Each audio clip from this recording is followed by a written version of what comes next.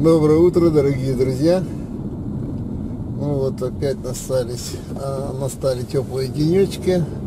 У нас снег был, кстати, целую неделю. То дождь, то снег. Ну, сейчас, правда, опять пауза небольшая. Три дня. Сегодня, завтра, послезавтра. До 18 градусов. И надо этим воспользоваться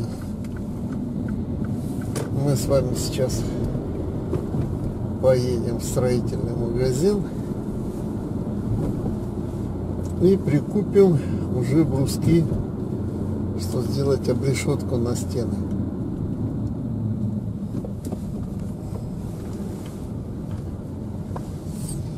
Вообще нам надо, так, там 14, здесь 12, 26 26 брусков, 2 метра двухметровые на 4 на 6. Вот такие бруски стоимостью по 2 евро за брусок. Я помню, было так, а может уже подорожал. Я слышал, в России очень быстро строительный материал дорожает в последнее время.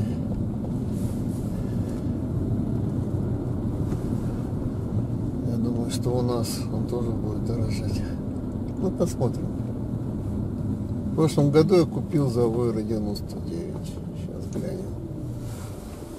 Есть ли он вообще, этот брус. Та ли там цена. Ну, какая бы ни была, придется брать все равно. Не бросать же посередине.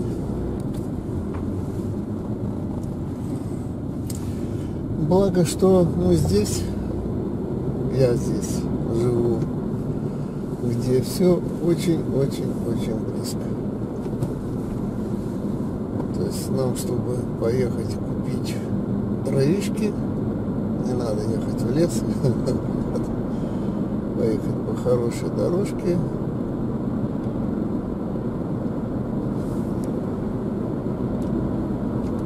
Приехать в магазин Том. Мы с вами уже там были, мне кажется, но нам не дали снимать. А попробуем в этот раз в тихушечку. Да, и не забыть шурупы, шурупы надо не забыть. Шурупчики, без шурупчиков никак бы никак.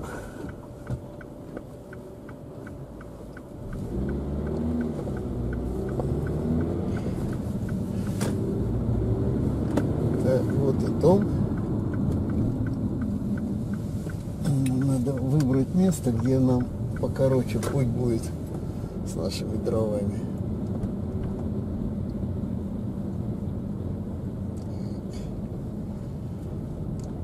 Короче, это будет вот тут.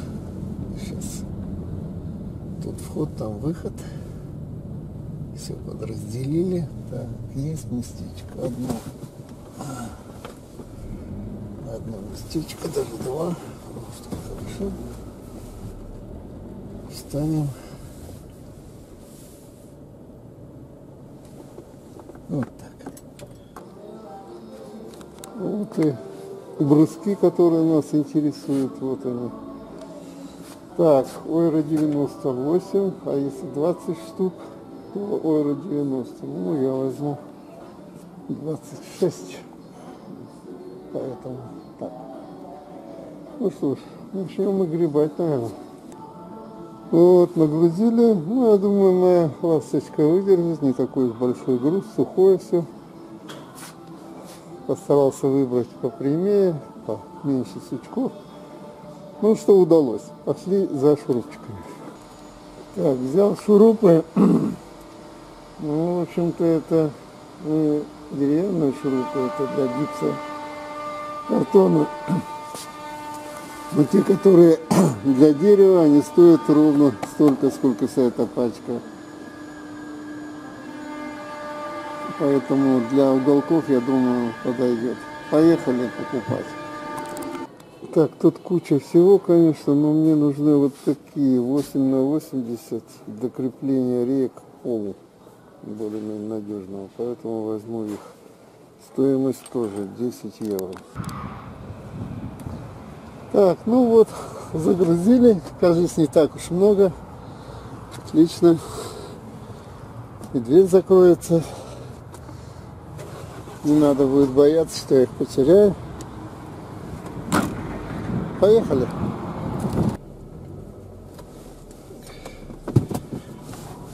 Так, ну что ж, поехали. Топеречи домой.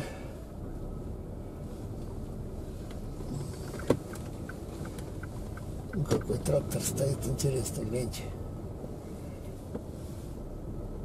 Прям красота.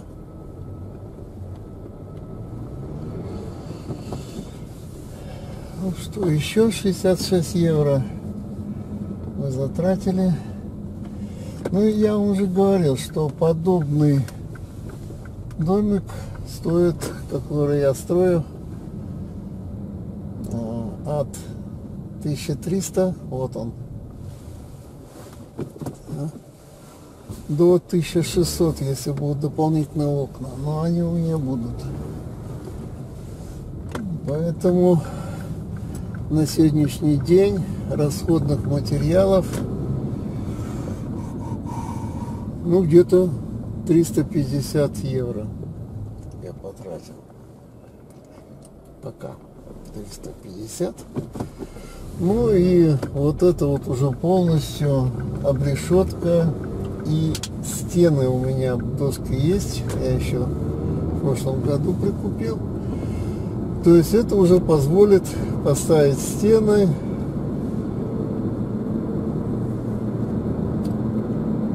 Потом нужно будет с крышей разбираться.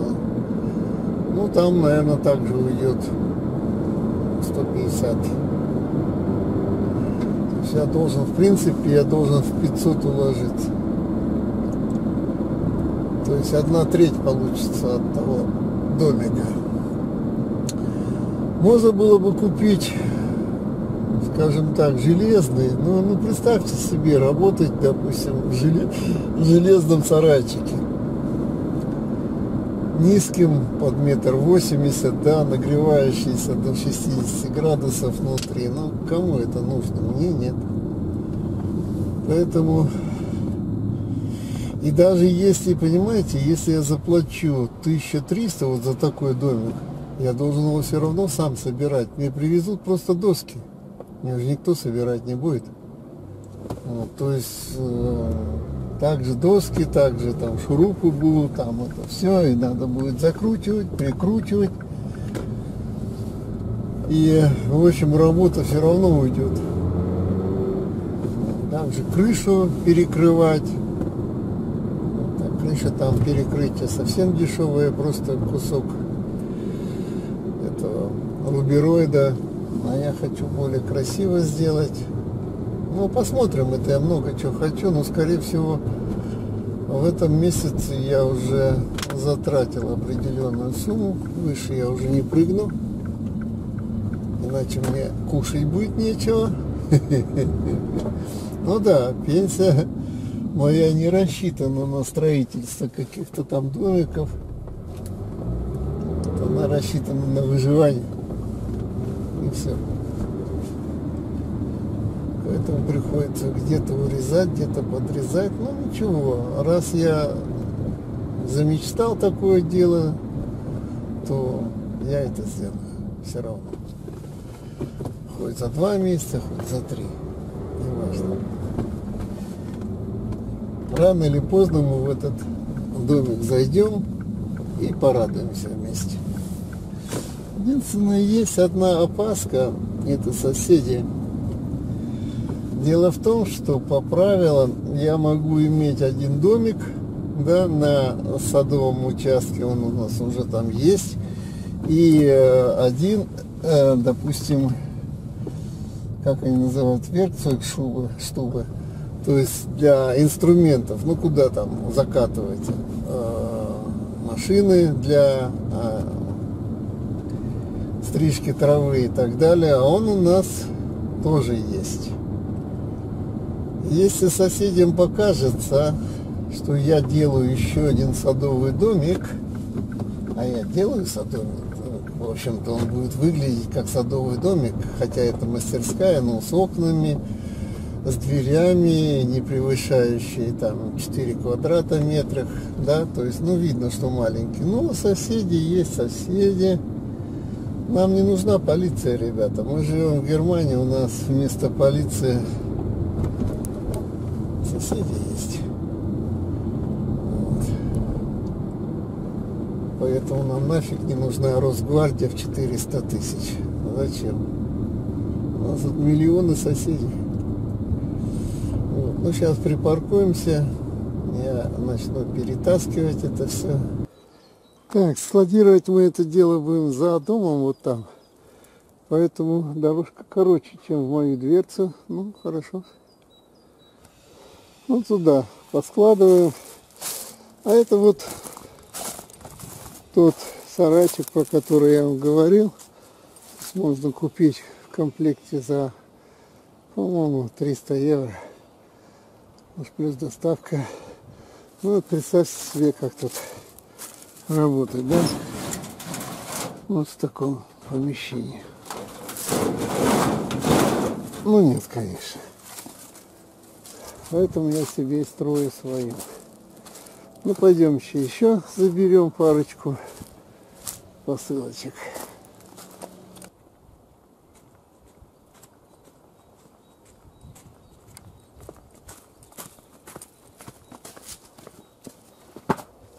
Ну, как видим, тут все хорошо. Практически спасли пол от дождя и снега. Завтра мы с вами уже точно продолжим. Сегодня надо кое-какие дела по хозяйству сделать, сами знаете. То борщ сварить, то хлеба спеть. Ну, всего доброго вам, друзья. Пока. До завтра.